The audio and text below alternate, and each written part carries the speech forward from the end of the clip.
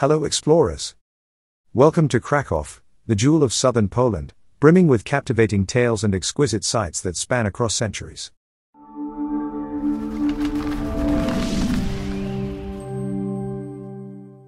A city where each street corner tells a different story, where cobblestone lanes meander through the heart of the old town, leading you from one architectural marvel to another. But Krakow is not just a window into the past, it pulsates with youthful energy, thanks to its large student population. Krakow is strategically nestled in southern Poland, along the Vistula River. It lies roughly halfway between the western border with Germany and the eastern border with Ukraine. Its geographical position has for centuries rendered it a crucial intersection of major trade routes, particularly between northern and southern Europe. To the south of Krakow, the land gradually rises into the Tatra Mountains, part of the Carpathian Range, while to the north it extends into the broad plains of the Polish lowlands. The city is 250 kilometers south of Poland's capital Warsaw. Its location, soaked in natural beauty and historical significance, makes Krakow a perfect gateway to explore the diverse landscapes and rich heritage of Poland. History Krakow's history traces back to the 4th century, with the earliest evidence of settlement found on Wawel Hill, the city's iconic landmark. The city's founding is often attributed to a legendary ruler, Krakus, who, according to myth, defeated the Wawel dragon. However, historical records mark Krakow's inception around the 7th century when it was a stronghold of the Vistulans, a Slavic tribe. In 966 AD, a Sephardi Jewish traveler named Abraham ben Jacob noted Krakow in his records, marking the city's first written account. By the end of the 10th century, Krakow was taken from the Bohemians by Prince Mieszko I and was incorporated into the holdings of the Piast dynasty. This marked its formal inclusion into the early Polish state. The middle period of Krakow's history, particularly from the 12th to the 16th centuries, witnessed significant growth and progress for the city. In 1364, King Casimir III of Poland raised Krakow's status by founding the Studium Generale, Krakow Academy. It is now known as the Jagiellonian University, and is one of the oldest in the world, whose former students include Nicholas Copernicus. The city thrived as a hub of trade, arts, and academics, attracting scholars, artists, and merchants from far and wide.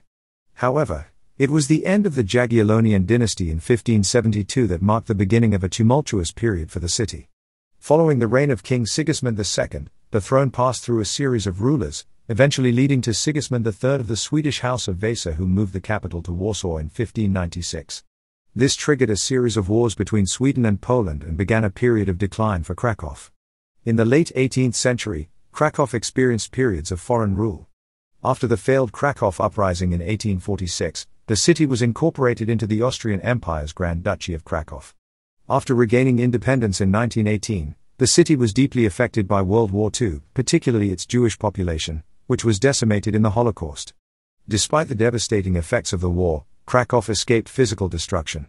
Post 1945, under the socialist era, Krakow underwent rapid industrialization, most notably through the construction of the country's largest steel mill in the suburb of Nowa Huta. Since the fall of communism in 1989 and Poland's subsequent joining of the EU, Krakow has revitalized itself, becoming an important hub for the offshoring of IT work from other nations. The city proudly showcases its rich history while embracing the dynamism of the modern world. If you find this video interesting and would like to join us as we explore cities around the world, please press like and make sure to subscribe. Thank you. Attractions Wawel Royal Castle. No trip to Krakow would be complete without a visit to the Wawel Royal Castle, a symbol of Polish national identity. Once the home of Polish monarchs, it now houses a vast collection of artwork, antiques, and royal treasures. As you explore the beautifully restored rooms, you'll learn about the castle's history, from its 13th century beginnings through its golden age under King Sigismund the Old, to its decline in the 18th century. Don't miss the stunning views over the Vistula River from the castle's terraces. St. Mary's Basilica. Located in the Grand Main Market Square, St. Mary's Basilica is a must see Krakow attraction. The basilica's majestic, two towered facade is impressive, but it's the stunning altarpiece inside that leaves visitors in awe. Crafted by Veit Stoss in the 15th century, this carved wooden masterpiece is a testament to the high art of the late Gothic period. If you're lucky, you might even hear the Auli trumpet call, or Hejnal Mariacki, played from the taller of the basilica's two towers. Oskar Schindler's Factory. The factory, now a museum, offers a poignant look into Krakow's history during World War II. The museum tells the story of Oskar Schindler, a Nazi industrialist who saved over 1,000 Jews from the Holocaust. Equally, it explores the broader history of Krakow under Nazi occupation. Through the immersive exhibits, you'll gain an understanding of life in Krakow during these harrowing times. Unusual attractions. Rynek Underground Museum. Directly beneath the main market square lies the Rynek Underground Museum, a fascinating journey into Krakow's medieval past. Thanks to archaeological excavations, you can walk through a network of subterranean chambers where the city's history is brought to life through holograms, touch screens, and artifacts. A highlight is the recreation of a 14th century market stall, complete with sounds and smells. Dragon's Den. Nestled under the Wawel Hill, Dragon's Den is steeped in local myth. It's said a dragon once lived here, terrorizing Krakow's citizens until slain by a clever shoemaker's apprentice, Skuba. Today, you can explore this eerie limestone cave and even see a fire breathing dragon statue near the entrance. Recreation. Nature lovers can visit lush green spaces like Planty Park, encircling the old town, or the scenic Zakrzat Reservoir, where you can enjoy a beautiful hike or go for a swim. The Vistula riverbanks are perfect for leisurely strolls, picnics, and bike rides. For those who enjoy cultural experiences, numerous theaters such as the Julius Slowacki Theatre and Opera Krakowska offer a range of performances. Krakow also boasts a lively nightlife scene, with Kazimierz district known for its eclectic bars, clubs, and live music venues. Public transportation. Krakow's public transport system is efficient and tourist friendly, comprising trams and buses. To navigate the city, consider purchasing a Krakow card, which provides unlimited travel on buses and trams. Trams are ideal for visiting major attractions. Tram lines 1, 2, 3, and 4, for instance, stop near the Old Town and Kazimierz. Tickets can be bought at ticket machines at major stops, on board some buses and trams, or via mobile apps. Remember to validate your ticket immediately after boarding. Getting to Krakow. Krakow John Paul II International Airport, around 11 kilometers from the city center, serves domestic and international flights. The airport is well connected to the city by train, bus, and taxi services. The train, operated by Kolej Malopolski, is the quickest way to reach the city, with departures every half an hour. For those preferring to travel by rail, the main railway station, Krakow Główny, connects Krakow to major Polish cities like Warsaw and Gdansk, as well as international destinations like Berlin, Budapest, and Prague. The station is conveniently located near the Old Town, and it's also connected to a shopping center, Galeria Krakowska, providing plenty of options for dining and shopping upon your arrival. Excursions. Krakow's surrounding region is as compelling as the city itself, offering a diverse array of excursions.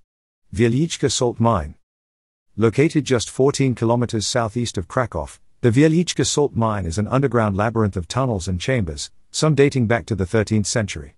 The tour takes you through ornate salt carved chapels, statues, and even a subterranean lake, showcasing the centuries old tradition of salt mining.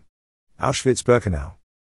Though sobering, a visit to the Auschwitz Birkenau concentration camp, about 70 kilometers west of Krakow, is a deeply moving experience. Preserved as a testament to the horrors of the Holocaust, it's an important excursion for understanding a dark chapter of world history. Zakopane and the Tatra Mountains. For nature enthusiasts, a day trip to Zakopane, nestled at the foot of the stunning Tatra Mountains, offers hiking and skiing. Don't miss a ride on the funicular to the peak of Gubałówka for breathtaking mountain vistas. Ojców National Park. Just a short drive from Krakow, Ojców National Park is a haven of striking geological formations, medieval castles, and over 400 caves. Nearby highlights include Piskowa Skała Castle and the awe-inspiring Maczuga Herkulesa. Summary Krakow, Poland's historic gem, is a city where the past and present intermingle harmoniously. With its architectural wonders, vibrant cultural scene, and poignant history, it offers an unforgettable journey for every visitor. It's a city that captivates with its rich tapestry of experiences, making you yearn to return long after you've left its welcoming borders. Thank you for watching our tour of Krakow. I hope that you found it informative and enjoyable. If you have any additional information or corrections to share about the city, please leave a comment below. And if you want to see more videos like this, make sure to hit subscribe and turn on notifications so you don't miss out on our latest uploads. Keep exploring.